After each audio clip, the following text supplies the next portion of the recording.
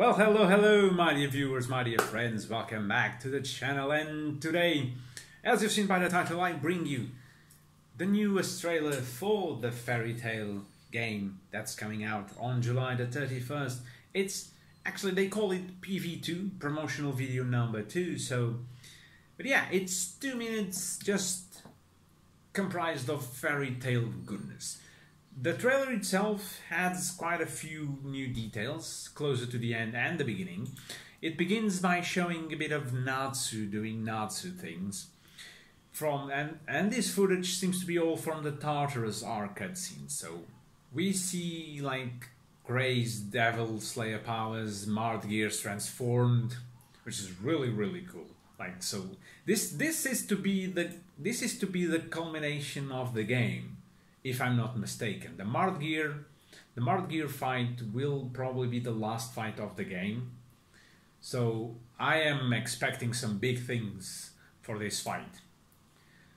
So yeah, we get the, the full-on confirmation that there are only 16 playable characters in the whole game. I don't know if they're going to add more to the DLC, but I don't think that that's actually a good move on their part if they decide to do it.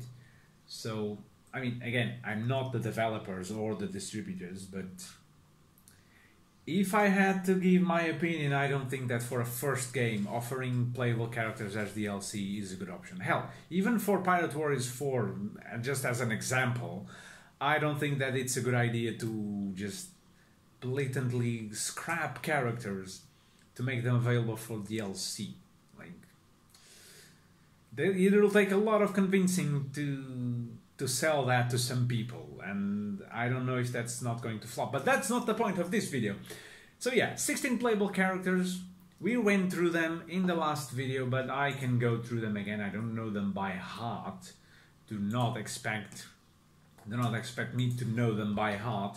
But i will just but i will just try to look it up Fairy Tail game? No, I don't want the portable guild game. What's who has ever heard of the portable? Okay, Fairy Tail video game. Okay, so playable characters. We have Team Natsu, Natsu Dragneel, Lucy Heartfilia, Gray Fullbuster, Erza Scarlet, and Wendy Marvel. Fairy Tail Team B, Gajeel, Gagil Red Fox, Juvia Lockser, Juvia Lockser, Jellal Fernandes, Kagura. No, Kagura is not part of Team B. Sorry. Team B, Mirajane Strauss and Laxus Dreyar. From Fairy Tail Steel we have Gildarts Clive, then we have Kagura Mikazuchi, Sherria Blendy, Ichiya Vandalay Kotobuki, Sting Eucliffe, Rogue Cheney, and... and that's it. I don't know why I decided to read all their names, but I did. So, 16 playable characters, not a bad number for a first game, I tell you that much and the roster they've chosen is really really cool. Of course, Team Natsu had to be there, no questions asked. Fairy Tail Team B, same because of the Grand Magic, Grand Magic Games arc, and the other ones are really all just cool. I mean, not fan servicey. Okay, Gildarts is fan service. Mm, never mind. Gildarts is fan service, no questions asked. Because there are no arcs on this game that feature Gildarts in any major way. There's Tenrojima, but they are not going to delve to delve too deep into Tenrojima to have Gildarts versus Blue Note. So, I mean, Tenrojima will start at the at at the near end. At the at the very least, I think we'll have the Laxus versus Hades fight, the Natsu team versus Hades, and and if they are nice to us and they want to give us a bit of fan service, we'll have a fight against Acnologia. Maybe. Maybe. We don't know. But we'll see. They haven't shown anything on that sense.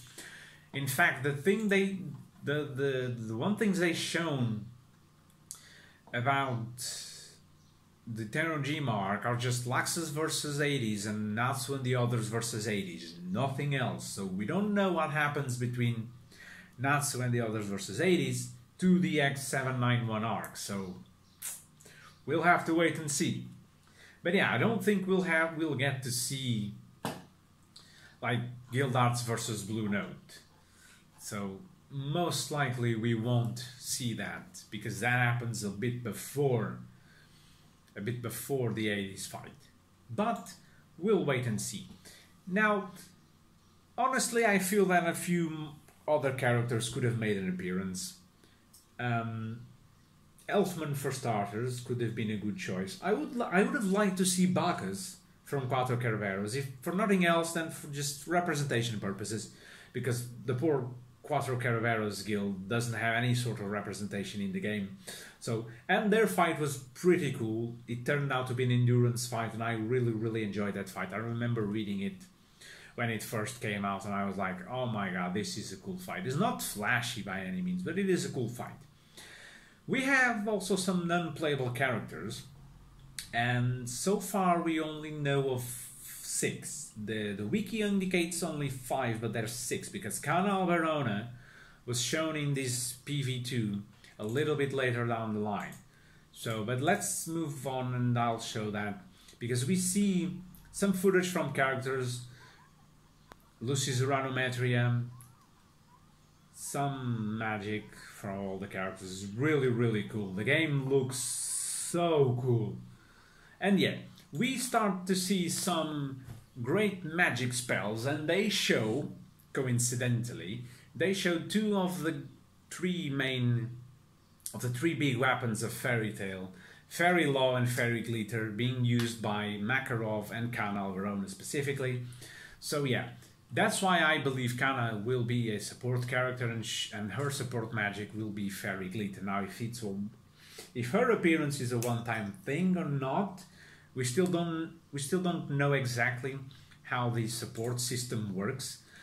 The the wiki makes a distinction between guest characters and support characters and they indicate guest the four guest characters being Flare Corona, Lyon Vastia, Minerva Orland, and Ultear Milkovich. So, what I think these will be is like characters you have in your party. You can have them in fights, you can control them to a certain degree, but not much. Like the wiki states that they will automatically perform a range of powerful magical abilities. So whether they'll be there and whenever it's their turn they'll attack or wait or whatever actions are available to them, it's still up in the air. The trailers don't show much on the actual specific specific actions that the support characters will take. The guest characters I should mean because then the support characters they list Makarov as, as a support character. So the support characters, I really think it's a one-time thing. Like you have Makarov selected as a support character, you fill out a gauge, and then when that gauge is full, you have an option to press a button, complete an action, and then Makarov comes and utilizes Fairy Law. That's it. Because to be honest, we haven't really seen Makarov doing all that all that much. Like the guy turns up, either goes giant or goes fairy law. That's it. So yeah. And I believe that Cana Alberona will also fit into the support character category. You'll fill up a bar, she'll appear, fairy glitter, boom. So yeah. And then at the end of this trailer there's another cool thing that I that I'll touch up that I'll touch up in a moment. So yeah. We see fairy law, we see fairy glitter, all that's cool. And then we start getting to some gameplay specific things. In the guild, we have the request board, which you already knew was there.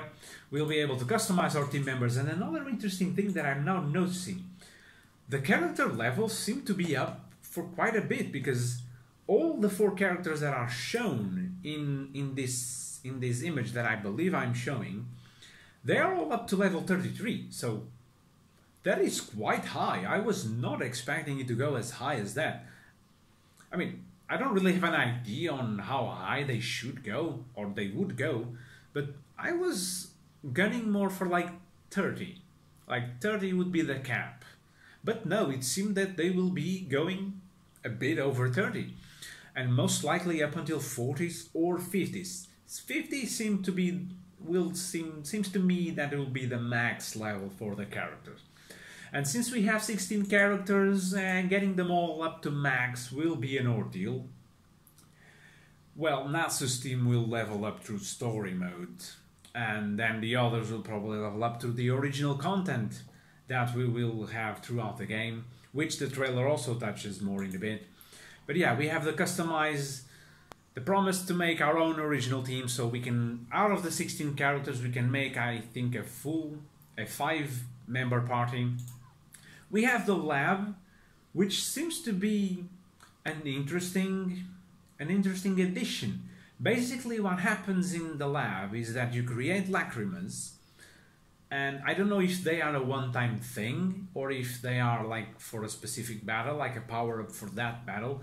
Because the one that we see in the description we see is the Wizard Talisman, and the description reads raises his attack by 60. So and it's a grade 4 lacrima apparently. So there there appears to be five grades five tiers. So all the way from grade 1 to grade 5 and yeah i mean it appears that the lab is going to be run by by levy she appears here at the beginning before before the synthesize option is selected so it's an interesting addition we know that in rpgs we do have we do need to have this progression thing then there's a shop run by Lisanna that will allow us to, well, you know, as a shop do, to buy and um, to buy and sell items. There's an interesting detail that I'm looking now. At the top left corner reads the reads the title for a mission summary, and it's called Dawn of a New Adventure. Raise the guild's rank to 25. So, this I think is how they lock progress between arcs. So, I think, and because this seems to to be in the in the bigger castle, in the in the big guild hall, not the tiny one.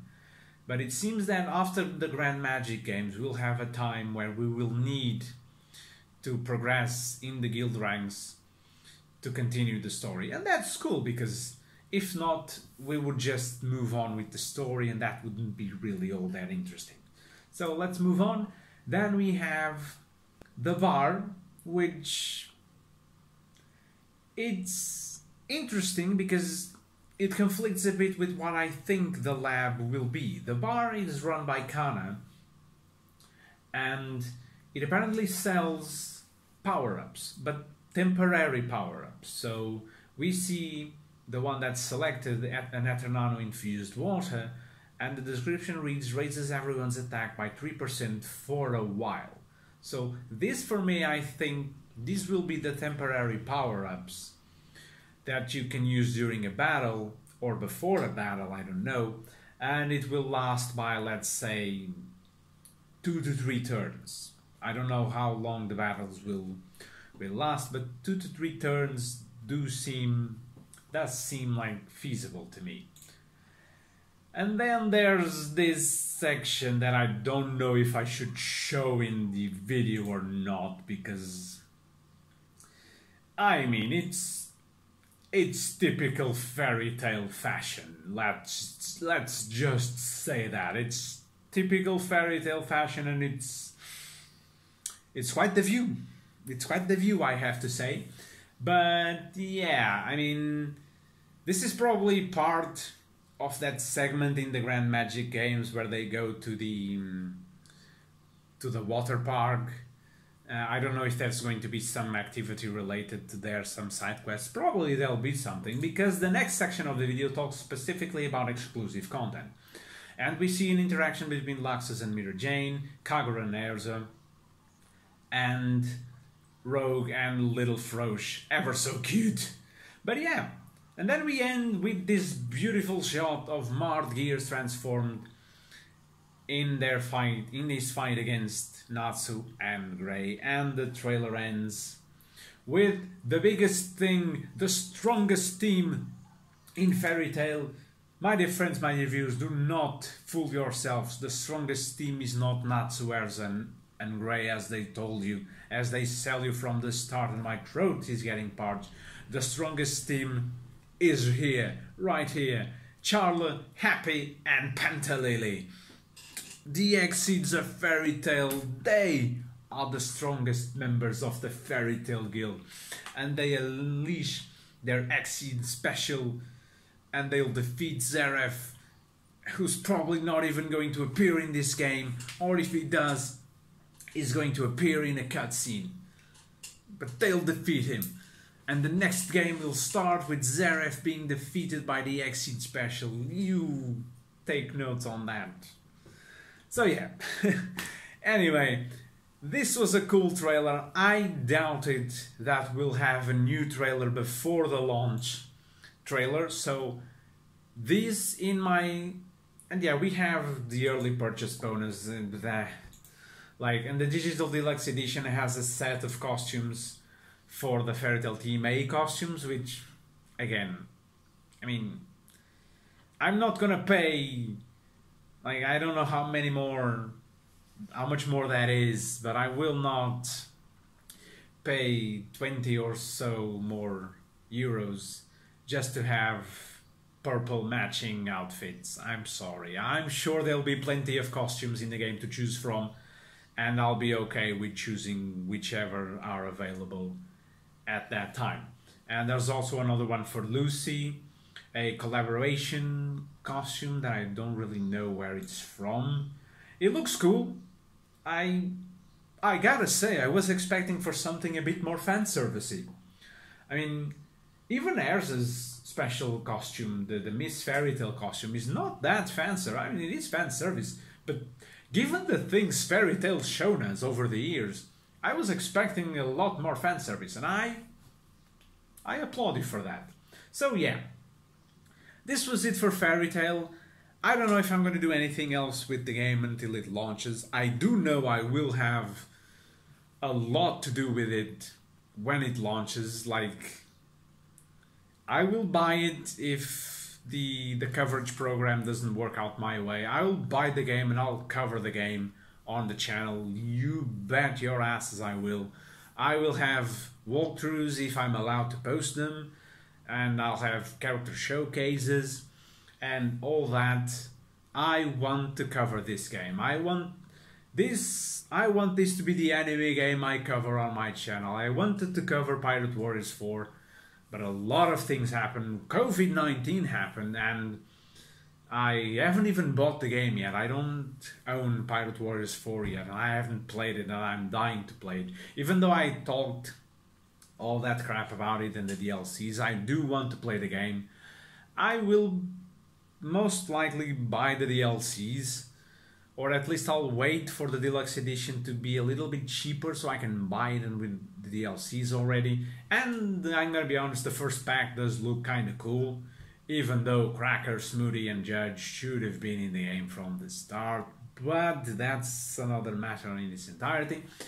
This is this has been Fairy Tail. I'm really really looking forward. Before doing this video and before rewatching this trailer, I went and watched all the trailers for this game, like in sequence, and my god, I fell in love over and over again with with this game because it really shows that they they did a lot for this game. So they did a lot for it, and they are trying to do justice for Fairy Tail, and I believe they will succeed as you guys know, if you remember, my relationship with Fairy Tail is a bit wonky. Like,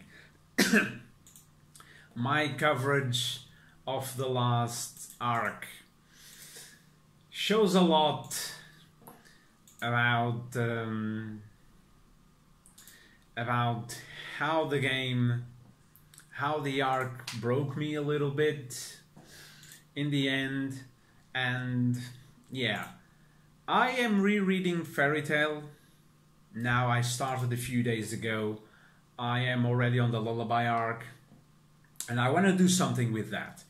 I want to read it, I want to analyze it, and I want to bring it to the channel, and I want to see, I want to go through Fairy Tail from beginning to end to properly understand the final arc. Because that's a thing. And I noticed that when I reread Bleach it didn't make me enjoy the last arc more than I had when I first read it, but I understood it a lot more reading it like in full and not one chapter a week because that breaks a lot of the pacing. And to be honest fairy tail and bleach i'm not as versed in those as i am in one piece.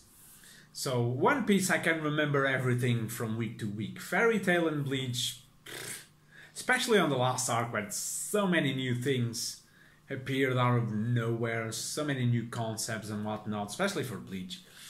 But anyway this has this has been it for fairy tail i really hope you guys have enjoyed this video and if like me you are eager to see this game be released I urge you to tell me your opinions in the comment section down below about this game. As I said, I don't know if I'm going to do anything else with this game before it launches. I have a few opinions about it on my mind, about the arcs, about the characters. But honestly, I tried recording all that and it just turned out it didn't turn out okay, so I decided, you know what, let's scrap this and let's discuss it in the comments with you guys. So if you'd be so kind, please do comment. I am eager to read your comments and respond to it to them. So yeah, my English is all over the place these past few days, but never mind. My dear friends, my dear viewers, this has been it for this video and for today. I hope you guys have enjoyed it. If you have, please leave a like, a comment, and if you'd be so kind, subscribe to the channel. And I will see you next time for more Fairy Tail, Kingdom Come Deliverance, Harry Potter in Minecraft, or One Piece. Whatever it is you're here for, and I'm so glad you are here. So I'll see you then. Bye bye.